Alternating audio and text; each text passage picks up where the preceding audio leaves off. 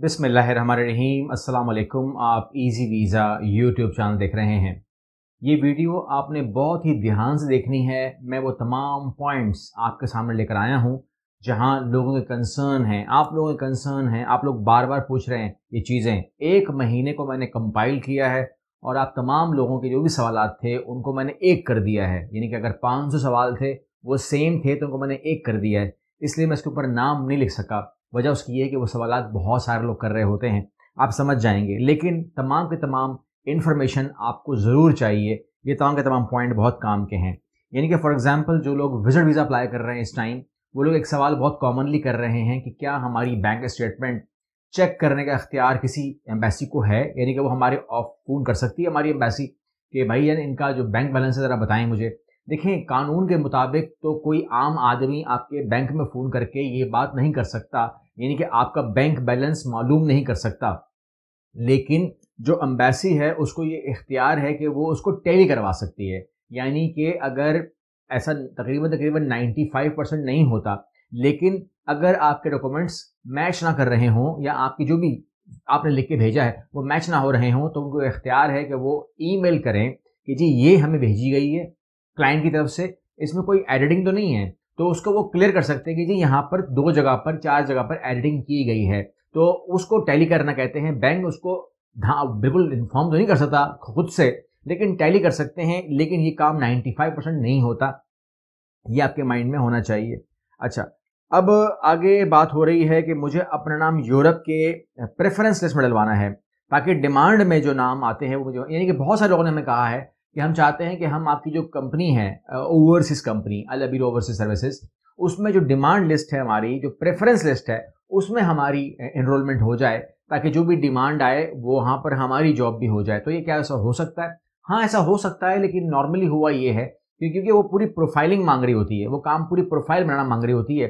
एक आम सीवी नहीं जा रही होती है वहाँ पर, एक आम कवर लेटर नहीं जा रहा होता वहाँ पर, उस पर वर्किंग की ज़रूरत होती है। इसलिए अब तक जो हमारा सिस्टम है, जो लोग जानते हैं, वो ये है कि जो लोग कनाडा रेड प्लस में इनरोल्ड हैं और डेली मेहनत कर रहे हैं, जो यूरोप गोल्ड प्रोग्राम में इनरोल्ड हैं और डेली मेहनत कर रहे हैं, उन्हीं की प्रोफ़ाइल को हमने प्रेफरेंस लिस्ट में डाला होता है और पहला मौका उन लोगों को हम देते हैं। एक तो वो डिजर्व करते हैं, पहली बात। दूसरी बात यह है कि क्यों हम अखबार में इश्तहार लगाकर ज़्यादा लोगों को लें? अखबार में इश्तहार देना पड़ता है, कानून है, लेकिन सच्ची बात यह है कि प्रेफरेंस लिस्ट को हम पहले फोकियत देते हैं। इसलिए इसको प्रेफरेंस लिस्ट कहा जाता है क्योंकि पहला पहला हक जो है वो उनका होता है जो इस टाइम एक्टिवली किरदार अदा कर रहा है। बजाय कि हम इश्तहार दे करके तमाम बाहर से हायरिंग करें। हाँ उसमें जो डिजर्विंग केस हो वो आ जाएँगे लेकिन नॉर्मली प्रेफरेंस लिस्ट को प्रेफरेंस दी जाती है तो ये नॉर्मली हमारे वही लोग होंगे जो लोग या तो यूरोप गोल्ड प्रोग्राम में हैं या कैनेडा रेड प्लस में हैं या फिर वर्ल्ड वाइड में हैं।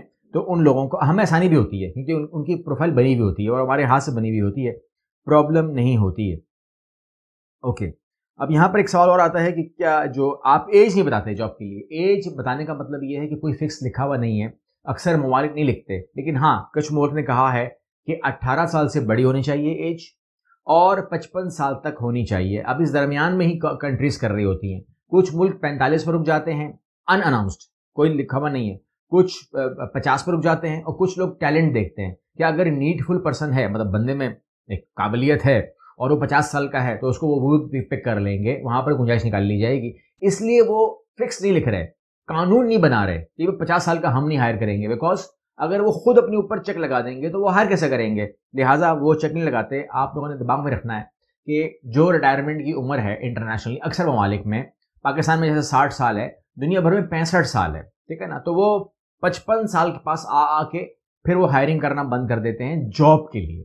ठीक है नॉर्मली लेकिन वहाँ पर भी देखा गया है कि कुछ ना कुछ मामला, अगर बंदे के अंदर कुछ चीज़ ऐसी हो कि उनको वो नीडफुल हो उनकी तो उन्होंने कोई चेक लगाया नहीं है। तो उस, वो भी समझते हैं कि अगर पचपन साल का भी है तो दस साल तो काम आएगा तो ठीक है। अच्छा अब वो पचपन, छप्पन का मतलब आप समझ रहे हैं। ओके, यहाँ पर बहुत सारे कमेंट्स ये आते हैं कि आपके पास लिबिया से गेम है, आपके पास पता नहीं इराक से गेम है तो हमारे पास कोई गेम नहीं है। और ये बात जो आपको अभी कह रहा हूँ, ये बात आपको मैं अगर मिलेंगे, क्योंकि आप समझते हैं कि मिलने के बाद शायद ये अपना असल मुँह खोलेंगे तो हमारा असल मुँह भी यही है जो आप आप इस टाइम देख रहे हैं आप। यानी कि हमारे अल्फाज बदलते नहीं हैं, हमारी चीज़ें बदलती नहीं हैं, और हम लोग वही बात करेंगे आपसे जो हम स्क्रीन पर करते हैं। क्योंकि जिस तरह आपसे हमें बात करनी है तो आपको ही फेस करना है तो हम आपके साथ डबल बात नहीं कर सकते। हमारी सिंगल बात ही रहती है। तो जो आपने हमने आपसे कहा है कि गेम वगैरह या ऐसा कोई डन बेस या ऐसा कुछ भी हमारे पास अगर आप रबता नहीं करेंगे तो we will be more than happy अगर आप लोग इस किस्म की बातें नहीं करेंगे डन बेस और गेम लिबिया गेम फला गेम शिप के ज़रिए ईरान इराक के ज़रिए, रास्ते के ज़रिए तो वो बातें जो है मैं आपको बहुत पहले मतलब 2016-15 की बातें हैं ना, जब आपको मैं बता चुका हूँ कि वो तमाम रास्ते जब हमने एक डॉक्यूमेंट्री की थी, तकरीबन जो लोग आप लोग शायद वो चैनल भी हमने चेंज कर दिया, तकरीबन पाँच साल पहले आपको याद होगा कि हमने पूरी डॉक्यूमेंट्री का करके दिखाई थी ना कि उन रास्तों पर क्या आपको इंसानों की हड्डियाँ वगैरह, ये वो तमाम चीज़ें? बहरहाल वो छोड़ दें। अब एक सवाल बहुत कॉमन आता है कि जी मैं सऊदी में हूँ, मैं दुबई में हूँ, मैं ओमान में हूँ, बहरीन में हूँ, कतर में हूँ, फला फला फला फला फला। मैं अप्लाई कर सकता हूँ? ज़ाहिर सी बात है। पाकिस्तान से अप्लाई करने के लिए थोड़ी रखा हुआ है। अप्लाई तो कोई भी कर सकता है, कहीं से भी कर सकता है। कंट्री मान लीजिए कनाडा सामने है या यूरोप सामने है। वो ये नहीं जानते या वो ये नहीं रखते कि आप कहाँ पर हाँ। ये प्रेफरेंस है। मतलब अगर आप कहो मैं पाकिस्तानी हूँ और मैं ओमान में हूँ या बहरीन में हूँ तो क्या मैं अप्लाई कर सकता हूँ? आप अप्लाई तो कर सकते हैं but you will get extra benefits of that यानी कि हमने देखा ये है कि उन लोगों का काम ज़्यादा अच्छे तरीके से होता है जो लोग बाहर होते हैं और उनको जो हमारी असिस्टेंस मिलती है, क्योंकि नॉर्मली अगर आप हमारी बात करेंगे तो 95 परसेंट हमारा क्लाइंट जो है वो ऑनलाइन है। 5 परसेंट सिर्फ़ क्लाइंट जो है वो ऑफ़िस आता है। ये हमारी एवरेज ये है। हमारा जो इस टाइम चल रहा है काम, उसमें पाँच परसेंट ऑफ़िस आते हैं वरना नहीं आते, वो कराची में होकर भी नहीं आते। वो कहते नहीं सर ठीक है, वो हो गया। आपको, आपसे बात हो रही है तो बस ठीक है फिनिश ज़रूरत पड़ी तो आ जाएँगे, लेकिन उनको भी हम ये कहते हैं कि ये नहीं है आपके ऊपर फ़र्ज़ कि आप कोई इस एक सीवी के लिए, एक कागज़ के लिए जो है आप ऑफ़िस आ रहे हैं। ऑल द वे ट्रैवलिंग कर रहे हैं, बस गाड़ी चला रहे हैं एंड ऑल दैट ये दौर इतना आसान नहीं रहा। हमारा जो, एक दौर अभी हमारा जो आ गया है ना ये दौर ऐसा है कि आपको बहुत जो काम हो सकता है व्हाट्सएप के ज़रिए, ईमेल के ज़रिए तो उसको कर देना चाहिए। बाकी मिलना हो तो हाजिर है, ये ऑफ़िस आपके लिए ही खोला गया है, ऐसा कोई और मकसद तो है भी नहीं। अच्छा पूरा खर्चा बताया करें, पूरा खर्चा बताना मुश्किल है, क्योंकि ये कोई फिक्स तो है नहीं। इसमें ये होता है कि आप ही कह सकते हैं कि जी एस्टिमेटेड कॉस्ट क्या आएगी? तो एस्टिमेटेड कॉस्ट में दो बातें हैं कंपनी कितनी सपोर्ट कर रही है और आप को कितना करना पड़ेगा? अगर कंपनी सपोर्ट कर रही है तो खर्चा बहुत कम हो जाएगा। ठीक अगेन कंट्री आपकी जो कंपनी है वो कितना सपोर्ट कर रही है? पता नहीं है। ठीक है ना? कितने हद तक सपोर्ट कर रही है? पता नहीं है। तो इसलिए मैं कैसे बोल सकता हूँ कि भाई आपका ए, मतलब एक ही केस के अंदर जो लोग जा रहे हैं उसके अंदर एक को सपोर्ट मिल रही है एक को नहीं मिल रही है। ठीक है ना? कंट्री वही है। तो उसको अगर खर्चा बता दिया जाए कि जी आपका खर्चा आएगा छः लाख तेईस हज़ार रुपये तो वो तो बात दोनों पे गलत उतरेगी। एक बोलेगा सर आपने मुझे बताया था छः लाख मेरा तो आया दो लाख। एक बोलेगा, जी, मेरा तो हो गया सात लाख। तो दोनों में गलत हो जाएगी। तो लिहाजा आप झूठे करार पाएँगे। आपका कसूर भी नहीं है और आपको दोनों झूठा बोल रहे हैं। तो लिहाजा झूठा बनने से अच्छा है कि हम बोलें कि खर्चा depend on the person depend on the country depend on the package depend on the work कि आप व्हाइट कॉलर हैं ब्लू कॉलर हैं कंट्री कौन सी है, कोई पता नहीं है। इसलिए आप इसके बारे में पेशन गोई करना कि जी, आपका खर्चा छः लाख बारह हज़ार रुपये आएगा।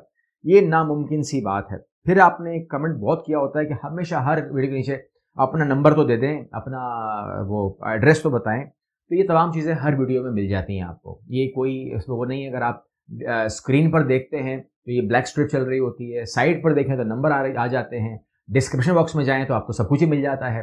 तो लिहाजा हर वीडियो में दिया हुआ है, इसमें कोई साइंस नहीं है, आप इतना तो कर लिया करें स्क्रीन से नंबर ले लें, ठीक है ना? मेरे मुँह से सुनने नंबर तो वो अलग बात है सुना देंगे आपको, वो भी कभी, इंशाल्लाह। अगर गला मेरा ठीक रहा तो वो भी आपको मैं बाकायदा सुर के साथ सुनाऊँगा, लेकिन बहरहाल सब नंबर लिखे हुए हैं, इसमें कोई ऐसी छुपाने वाली बात नहीं है। ये बैक ब्लैक स्ट्रीट चल रही है, काले रंग की, इस पर लिखा हुआ है, डिस्क्रिप्शन बॉक्स में जाओ, वहाँ से कॉपी कर लो, कोई चीज़ तो आपसे छुपाई नहीं जा रही है, सब ओपन है। ओके, वर्क वीज़ा अगर रिजेक्ट हो गया तो फिर क्या होगा? ये सवाल बहुत लोगों ने किया है, रिजेक्ट होता ही नहीं पहली बात तो ये है, जब एक ऑन गोइंग प्रोसेस है you are applying and applying वो रिफ्यूज नहीं हो सकता ना अब उसमें क्या है कि आप कह सकते हैं कि टाइम लग सकता है, लेकिन रिफ्यूजल होता है कि नहीं होता है? आगे जाके जब आपकी अप्रूवल हो रही होती है तो क्या वो चीज़ें हैं कि रिफ्यूज़ कर सकती हैं? तो पहली बात तो ये कि आपको मैं सिंबल कह दूँ कि हमारे साइड से वीज़ा रिफ्यूज़ नहीं होता, हमारी कंपनी की तरफ़ से। अगर रिफ्यूज़ होगा तो वो पॉइंट नोट कर लीजिए। सबसे पहले, अगर किसी इंडिविजुअल का अपना ज़ाती मेडिकल फेल हो जाए अब उसमें तो मैं कुछ नहीं कर सकता। अगर आपका अपना मेडिकल फेल हो रहा है तो रिफ्यूज़ल होनी भी चाहिए और होगी, पहली बात। उसके बाद अगर आपका इंटरव्यू फेल हो जाए तो उसमें हम क्या कर सकते हैं? दो बातें हो गई ना? अब इन दोनों बातों में हमारा किरदार नहीं है। तीसरा, अगर आपका पुलिस करेक्टर सर्टिफिकेट ही बनाने को मना कर दिया जाए मतलब एफ़ आई कटी हुई है केस चल रहा है तो इसमें हमारा कसूर अगेन नहीं आता। चौथा हो गया जी, गलत बयानी। अब आप अगर ने आपने फ़ाइल जमा करवाई है फ़ाइल में कुछ और लिखा हुआ है, फ़िलहाल फ़ाइल में आप प्लम्बर हैं, ठीक है ना? बता आप कुछ और ही कहानी रहे हैं उसको, ठीक है ना? आप उसे बिल्कुल ही अलग कहानी सुना रहे हैं। कि मैं टीचर था, मैं मैथ पढ़ाया करता था तो वो वहाँ प्लम्बर लिखा हुआ है।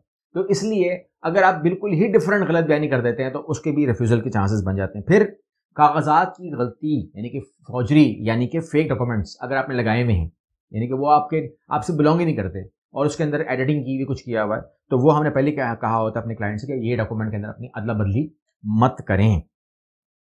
आखिरी सवाल बात करेंगे तो वो कहते हैं कि जी, आपका ऑफ़िस लाहौर में कब खुलेगा?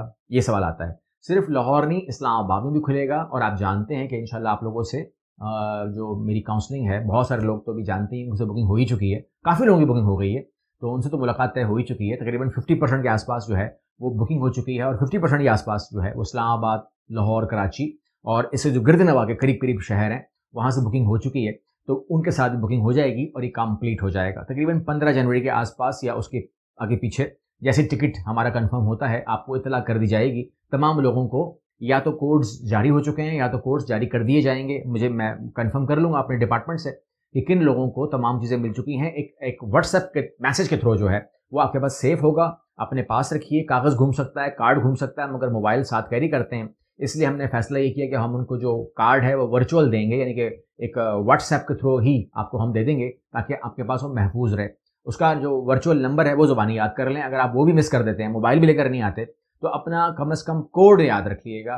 कोड मिस मत कीजिएगा क्योंकि वो लिस्ट हमारे पास होगी और उसी से ही हम लोग आपसे मुलाकात कर पाएँगे। जब हम आ ही रहे हैं इस्लामाबाद लाहौर तो हम वहाँ पर अपनी जो हमारी जो प्रॉपर्टीज़ हैं उनको हम चेक करेंगे। अगर हमें समझ में आ गए ऑफ़िस इस, इस टूर में तो हम उसको फाइनल कर लेंगे। लाहौर को भी इस्लामाबाद को भी जहाँ पर भी समझ में आ गया लेकिन लाहौर हमारी प्रेफरेंस तो है। तो डिपेंड करेगा हमने बहुत सारे जो हमारे दोस्त हैं वो कह रखा है वो उसको देख रहे हैं और अगर हम कोई लोकेशन फाइनल करते हैं तो हम उसको फिर आपके लिए डिस्क्लोज भी कर देंगे और ओपन भी कर देंगे आप लोगों के लिए। आप वहाँ पर फिर आ सकते हैं इंशाल्लाह। लेकिन डिपेंड करता है कि हमें वो समझ भी आए, पसंद भी आए, वरना फिर हमें दूसरे चक्कर में जो है, जो कि बहुत जल्द होगा उसके बाद, यानी कि उसमें शायद हमारी काउंसलिंग ना हो, लेकिन हम ऑफ़िस के लिए जो है फिर तकदो करें। उम्मीद करता हूँ कि आप मेरे साथ रहेंगे अगले वीडियो में। अल्लाह हाफिज़।